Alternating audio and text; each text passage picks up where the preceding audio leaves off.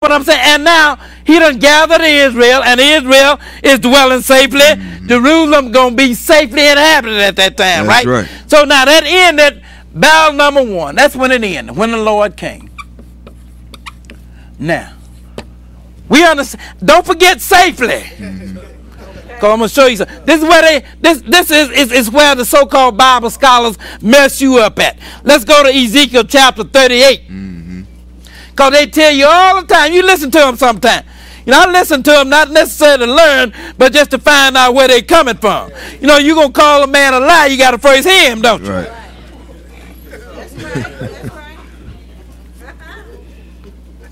and yes, I am calling him a lie. Yes, I am. And the word of God calling him one too.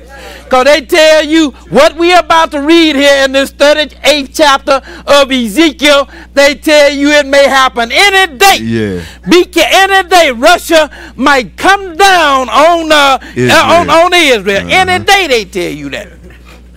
That's what all of them teach that. Read, read, read, you ain't got to take my word for it. Listen to them or read some of their books. All of them saying that uh, uh, Russia might come down any day up on the land of Israel.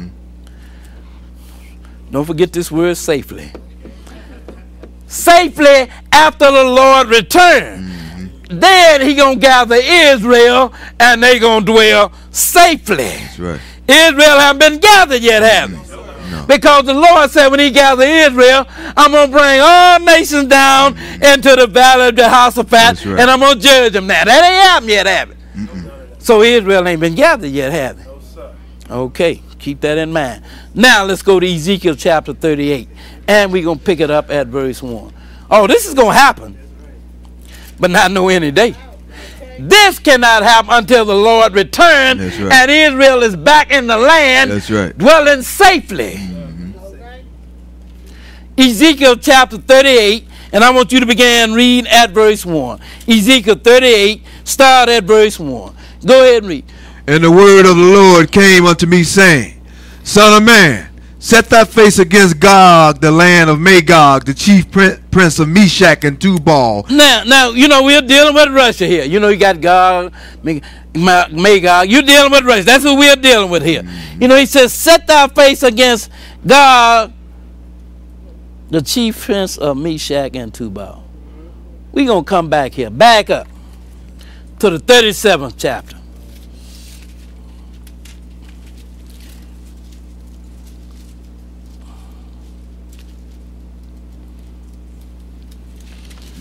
And pick it up at verse 19. 37 and 19. Another way I know Israel ain't been gathered. 37 and 19. Go ahead and read. Say unto them, Thus saith the Lord God, uh-huh. Behold, I will take the stick of Joseph, which is in the hand of Ephraim, and the tribes of Israel his fellow, Go ahead. and will put them with him, even with the stick of Judah, and make them one stick, and they shall be one in mine hand. So now you know you had Judah, and, which was uh, uh, the two tribes that became known as the nation of Judah. You had the ten tribes that kept the name Israel. Now the Lord is, and they split. 722 BC, they split, and they ain't never came back together. You understand? That's right. Because the Lord had uh, uh, uh, uh I can't call the name of, of the nation now. He had them to come down and take out the ten tribes. That's right. Assyria, thank you. He had Assyria to come down and take out the 10 tribes mm-hmm. around 722 BC. And then Judah was finally taken out the last time mm-hmm. in 70 AD. And they have never come back together since that been that separation. Go ahead, read on. 20. Now, and Lord said, I want you to put them back together. Go ahead and read on. And the sticks wherein thou writest shall be in thine hand before their eyes. Go ahead. And say unto them, Thus saith the Lord God, Behold, I will take the children of Israel from among the heathen, uh-huh. whether they be gone, and will gather them on every side and bring them into their own land. He said, I'm going to take them everywhere they have been scattered. Not out of Egypt, but out of everywhere that they have been scattered, and I'm going to bring them into their own land. Go ahead read on. And I will make them one nation in the land upon the mountains of Israel. Go ahead. And one king shall be king to them all, and they shall be no more two nations neither shall they be divided into two kingdoms anymore at all. Now, do uh do, do we have uh, Israel as one nation? And I'm gonna show you what else the Lord said. The Lord said, "This time, when I do this, that I'm gonna gather them out of everywhere they have been scattered. In other words, there ain't gonna be an Israelite nowhere except in the land of Israel. right. Even if he try to get away, he ain't gonna get away. Lord, right. I got some Gentile that's gonna grab you and take you back to the land looking for a blessing. So you ain't gonna be able to escape. If you're an Israelite, you going back to that land. I don't right. want to go back. You going. That's right. Now, when you get there and you start acting up, that, that might be it for you. Cause Lord said, first thing I'm gonna do, I'm gonna take you to the wilderness right. and I'm gonna purge out the rebels. Mm-hmm. So, but now, so don't it, when when you go, cause you're going. That's right. Don't act up, okay? Just do what you're told. That's, right. what you do. Don't even murmur. Cause you, I can go back and read you what God did to Israel when they murmured. you That's right. understand? So stop the murmuring. Right now, Israel, because Lord ain't gonna have that. That's right. Go ahead and read on. 23. Go ahead. Neither shall they defile themselves any more with their idols, nor with their detestable things. Wait nor- a minute now. You still got some Israelites that's involved in idolatry, don't you? That's right. You understand what I'm saying? Even if you say the ones that's in the land, they're Israelites, they're involved in idolatry. So now, whoever you want to make it, if you want to tell the truth and say that we are the Israelites, we still involved in our idolatry. And if you want to lie and say those people are the Israelites, they are still involved in our idolatry. But now the Lord said, when I take Israel back, He said, neither shall they defile themselves anymore with their idols. Go ahead and read on. nor with any of their transgressions. But I will save them out of all their dwelling places wherein they have sinned, and will cleanse them. So shall they be my people, and I will be their God. See what the Lord said, I'm going to save them out of all their dwelling place wherein they have sinned, so shall they be my people, and I will be their God. Go ahead and read. And David my servant shall be king over them. Where David at? He dead. He dead, ain't he? That's right. Well, we understand that David gonna be in the first resurrection, but when the Lord gather Israel, he talking about David gonna be king over them. Go ahead and read on. They shall also walk in my statutes and observe my statutes and do them. Well, Israel truly ain't doing that.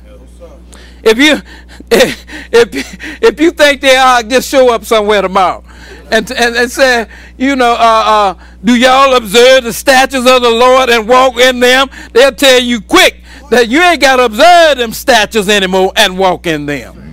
But the Lord said when he gather Israel, they're going to observe his statutes and they are going to walk in them. Go ahead and read on. And they shall dwell in the land that I have given unto Jacob my servant, Uh-huh. wherein your fathers have dwelt. Go ahead. And they shall dwell therein, even they, and their children, and their children's children forever. Uh-huh. And my servant David shall be their prince forever. So now again, we see, you know, Israel have not been gathered. Now we read earlier when they be gathered that again, I take you back to this word safely. Don't forget that.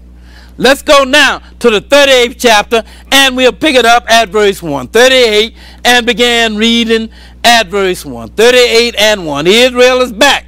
Now they're back in the land and as the Lord said, they're dwelling safely. Go ahead and read on. And the word of the Lord came unto me, saying, Uh-huh. Son of man, set thy face against Gog in the land of Magog, the chief prince of Meshech and Tubal, and prophesy against him. Uh-huh. And say, Thus saith the Lord God, Behold, I am against thee, O God, Uh-huh. the chief prince of Meshech and Tubal, Go and I will turn thee back and put hooks into thy jaws, and I will bring thee forth, and all thine army, horses and horsemen, all of them clothed with all sorts of armor, even a great company with bucklers and shields, all of them handling swords. So now he said, you know, now uh, uh, now I'm gonna deal on you. You know, I, I use you to whoop Babylon.